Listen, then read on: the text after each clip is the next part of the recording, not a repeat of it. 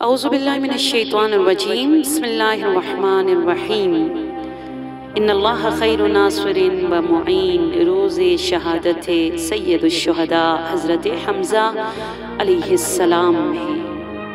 बहुत खूबसूरत रवायत है पैम्बर अक्रम सल्लल्लाहु अलैहि ने हज़रत हमज़ा को और जाफ़र तैयार को ख्वाब में देखा कि दोनों जन्नत के खूबसूरत बागात में बैठे हैं, मेवा तनावल फरमा रहे हैं, जन्नती खाना मेल फरमा रहे हैं। तो रसूल अकरम ने उनसे एक क्वेश्चन किया अफजल अमाल, बेहतरीन अमाल, आलम बरज़ख में और मौत के बाद क्या है जो खुदा ने ये मकाम आप दोनों को अता किया है?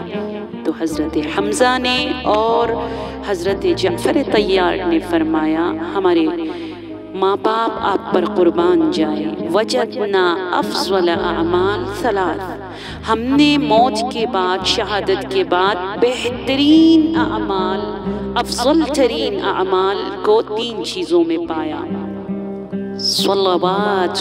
मोहम्मद आल मोहम्मद।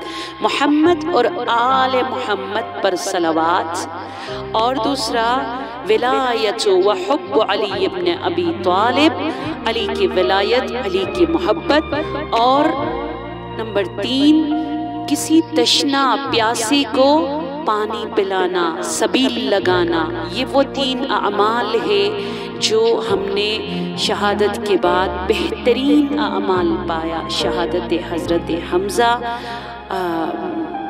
को अकीदत के साथ मनाते हैं और ये वो दिन है जिसमें अम ताहरीन अलैहिस्सलाम ने जैसे फरमाया कि अहल बैत के लिए तीन रोज़ दुनिया में सख्त तरीन अयाम और दिनों में से है। एक शहादत हमज़ा, एक शहादत हज़रत जाफ़र तैयार मोता में, जहाँ उनके दोनों बाजू काट दिए गए।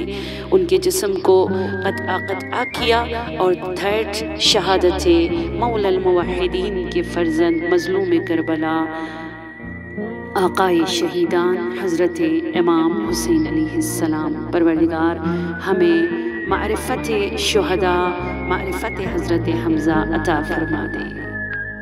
अउज़ुबिल्लिमिनश्शैतानिर्रजीम बिस्मिल्लाह